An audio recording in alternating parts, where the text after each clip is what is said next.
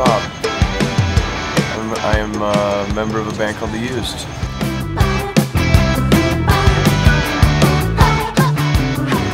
Growing up in Utah, you grew up very near many canyons.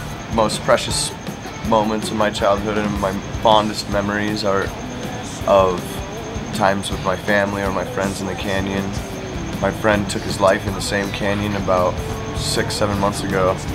And so a lot of the record has been this dueling yin yang type of happy sad and I think that that's really when you understand um, or trying to understand mortality and maybe the bigger questions that we ask why why we might be here and what it's all about.